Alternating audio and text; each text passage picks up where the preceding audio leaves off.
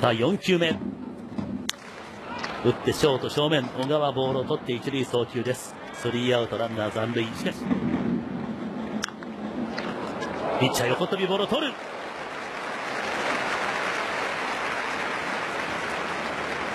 佐藤はピッチャーゴロ。こ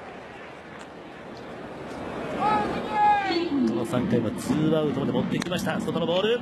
セカンド。野村勇一塁送球。スリーアウト。ガージンもバッター折れて三遊間。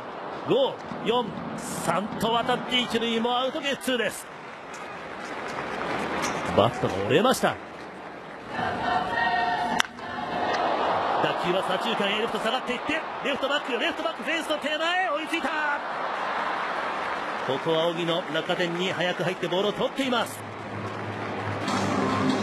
あと一伸びありませんでしたデスパイネワンアウト。打ったんですねバットちょっと先かなっていうのは思いますよね。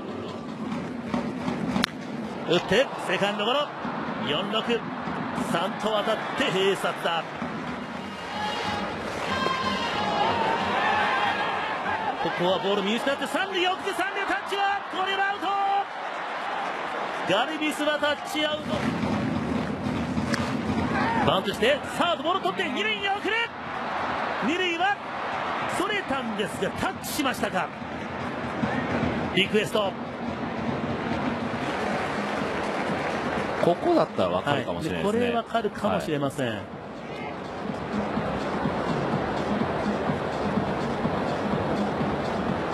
ああどうでしょう。さあ責任審判真鍋さんが出てきました。アウトのままです三遊間バックハンド今宮一塁送球。これでツーアウト。ただここ岡がリクエストをしてくださいとああやはりこうリクエストまで持っていきます。野村がその後踏み直した感じはないんですよね。そうなんですよね。はい。届いてなければ、はい。踏み直すと。という作業がありますもんね、はい。その動作がありませんでしたからね。ええ。というところで判定はどうでしょうか。